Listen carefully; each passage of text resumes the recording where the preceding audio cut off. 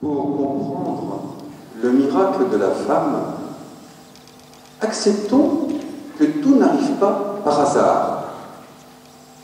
Tout a un sens. Rien n'arrive par hasard. L'ombre est présente pour que l'homme trouve la lumière. Dans ce monde de nuit, nous allons découvrir la femme qui illuminera notre vie et notre devenir.